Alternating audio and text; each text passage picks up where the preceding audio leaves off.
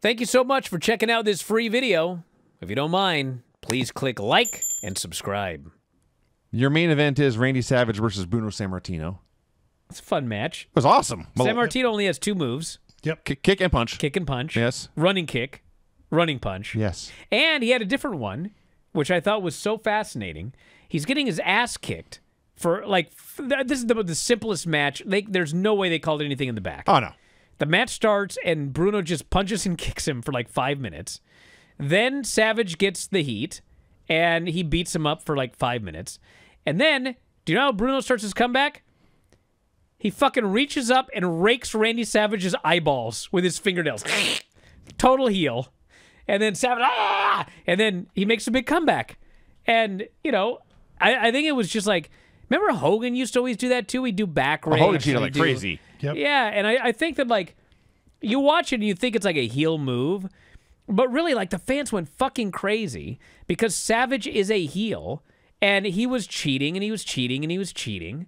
And finally, uh, you know, Bruno had had enough and he raked this fucker's eyes and people went nuts. Like, you know what? He deserved it! Yes. And they went crazy for the guy. It, it worked because you had guys like Tito Santana and Rick Martel in the undercard and Ricky Steamboat who would never cheat. Yes. Got like a clo- closest punch.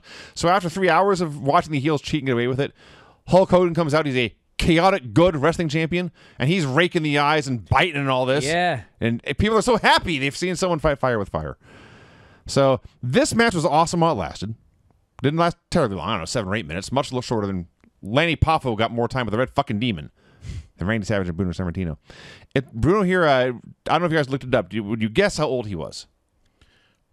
Bruno? Yeah, 57. What year was this? 87? 87. I would say that he was uh, 52. Very close. He was 51. 51. So barely any older than Adam Copeland is right now. That is actually hard to believe. Younger than Chris he's, Jericho. He's two years older than me right now. Yes. That's a strong point. Yeah. And uh, looking at him, and I'm older than he is. yeah, yeah. And uh, starts off, he doesn't look too aged. I mean, he looks great. He's still a big, burly guy who would kick and punch you to death. But uh, as the match goes on and his hair stops being slicked back, the hair he has left is salt and pepper. He has a giant bald spot.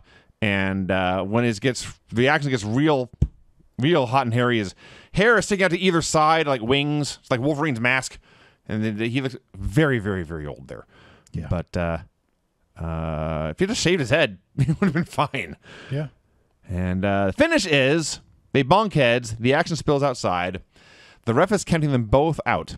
Bruno Sammartino tries to get back into the ring when Randy Savage picks up a steel chair and wonks him right in the back. Yeah. Mm. In front of the referee. He was just sitting there mm-hmm. counting. I was like, okay, well, got to get out of this some way. Let's do a shitty DQ. But he fucking whacks this guy, and Savage rolls into the ring and wins. The ref kept mm-hmm. counting out. I was like, what a fucking bullshit. And it wasn't Danny Davis. No. It was some rando. It was like, what the fuck? Yeah, that was bullshit. That was complete bullshit.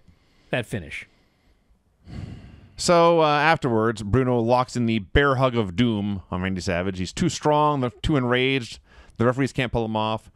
Finally, you get the U.S. Express and the Islanders and Corporal Kirchner and Scotty McGee. Yeah. They mentioned him by name. It was awesome because he put this bear hug on, and the storyline was this man is so strong, five men cannot break his bear hug grip. And they're all yanking at his arms, and they're on there. There's like a pile of like 85 guys, and he hugs this guy for like five minutes, and finally he lets go, and they carry Savage out like his ribs are all busted. And man, this place was going nuts for Bruno. And you could see in the background, it's, it's had to be MSG they had uh, like way in the background when they would do a long shot there's a big screen and it just had bruno in all capital letters on it.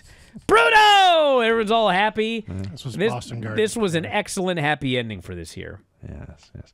So my favorite part about all this is they finally, they finally release Bruno's powerful arms from Savage's waist, and once it's done, all the baby faces back up because Bruno's still enraged and he's a dangerous man and they don't want to fuck with him. And eventually he calms himself down and they all leave him in the ring. That's all done.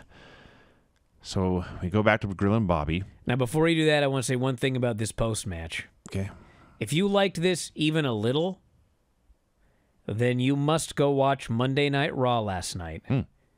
Watch the CM Punk segment with Seth Rollins and Drew McIntyre, and the post match where Seth gets attacked by Bronson Reed.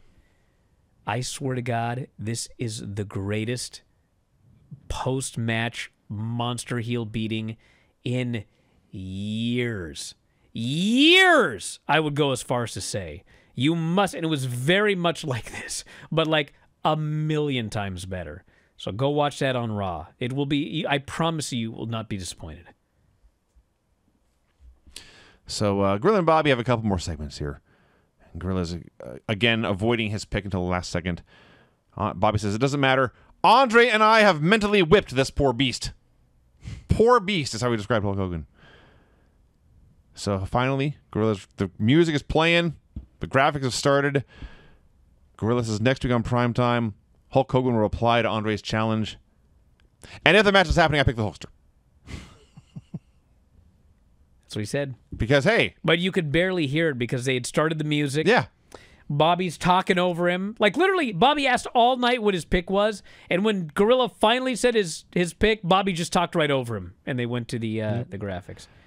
And he still, by the way, says if the match happens.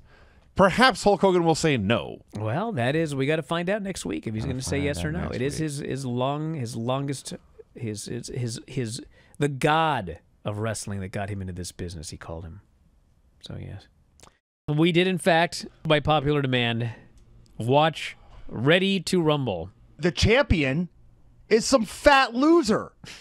Yeah, he's a completely talentless, no athletic ability, can't wrestle, broke bum that walked out on his wife and kid. But he and was he's over. the world champion. He and was in the he- movie. The well, yeah, but storyline that's a microcosm of wrestling. Sadly, Yes, he feels so bad about drinking this entire slushy that costs a dollar twenty six, and he he sticks his finger in his asshole, and walks up to the clerk. Lancey And- Lance is dying. How could the movie be so bad? I'm not going to fault the man for that. Of all the things in the movie, I thought for sure you were going to say you'd done this before. there's a reason I'm not going to fault the man for that. I, I just think with all the porta potties and farting in this, that I think Vince McMahon was a secret uh, producer on this film. Had to have been. So then we get the the Shermanator. He's played a WCW arcade game. He uses some internet sleuthing to find the personal information of Jimmy King.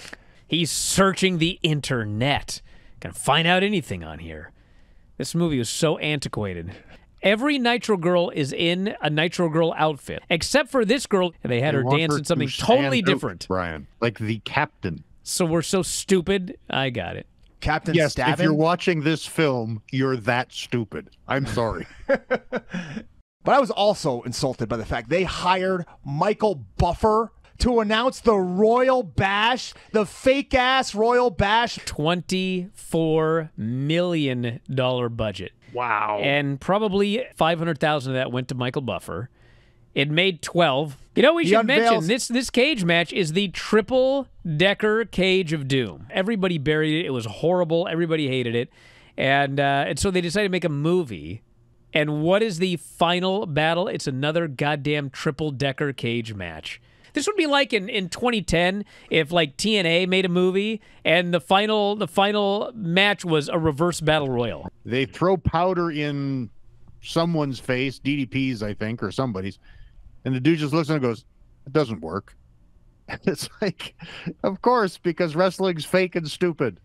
Should we just end it there?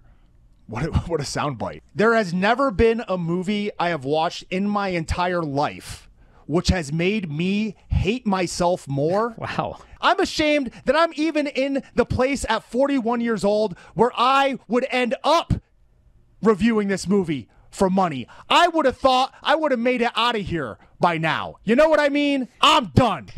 Well, everyone, hopefully we can do this again someday. Instead of suffering through the YouTube chat, click like and subscribe.